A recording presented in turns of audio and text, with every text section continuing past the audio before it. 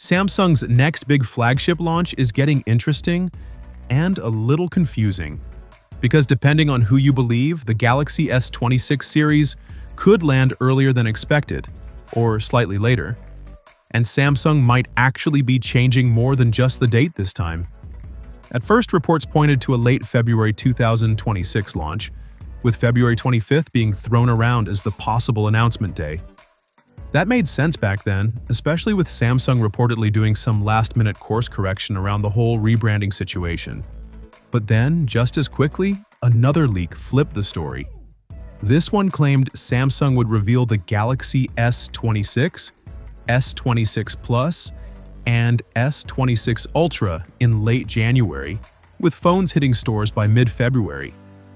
Now we've got yet another report, and it sort of circles us back to where we started.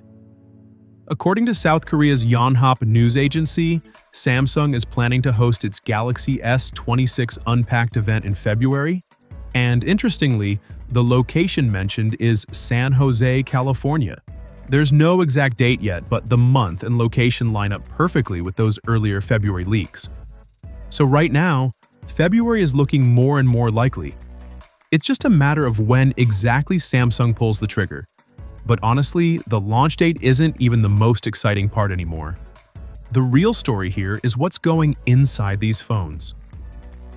Samsung has officially introduced its new Exynos 2600 chipset, and this one feels very different from Exynos chips we've seen in the past.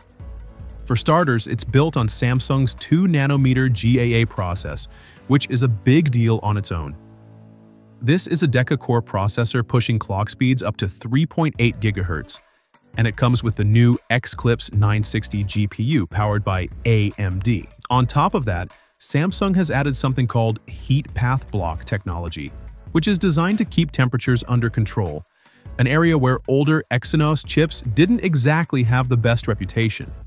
Two major upgrades stand out here, and both could have a noticeable impact on everyday use. The first is storage. Exynos 2 600 supports UFS 4.1, which is the next step up from UFS 4.0. Qualcomm already jumped on this with its Snapdragon 8 Elite Gen 5, and now Samsung is doing the same. Since both chips support UFS 4.1, it's very likely that the Galaxy S26 series will actually use this faster storage standard.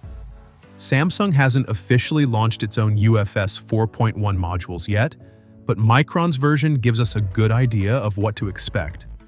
We're talking about up to 15% faster sequential write speeds, around 10% improvements in random reads and writes, and better consistency when it comes to long-term performance. In simple terms, apps should load faster, files should transfer quicker, and the phone should feel snappier overall. The second big upgrade is on the video side. Exynos 2600 introduces Samsung's APV codec, which stands for Advanced Professional Video. Alongside the usual formats like HEVC, H.264, VP9, and AV1, APV is designed to push video quality closer to a professional level with better detail and more accurate colors. Qualcomm has already confirmed APV support on the Snapdragon 8 Elite Gen 5 as well, so this is shaping up to be a big win for video creators, no matter which chip your S26 ends up using. And yes, Samsung is sticking to its usual split strategy. Reports suggest that around 25 to 30% of the Galaxy S26 and S26 Plus units will use the new Exynos 2600, while the rest, including all Galaxy S26 Ultra models, will be powered by Snapdragon 8 Elite Gen 5. The Exynos 2600 is already under mass production, which tells us Samsung is confident enough to put it back into its flagship lineup. So between a likely February launch, faster UFS 4.1 storage, serious video upgrades, and an Exynos chip that actually looks competitive on paper, the Galaxy S26 series is shaping up to be one of Samsung's most interesting launches in years. But what do you think? Are you excited about Exynos making a comeback? Or would you still rather stick with Snapdragon no matter what? Drop your thoughts in the comments, and if you enjoyed this breakdown, you already know what to do. Thanks for watching, and I'll catch you in the next one.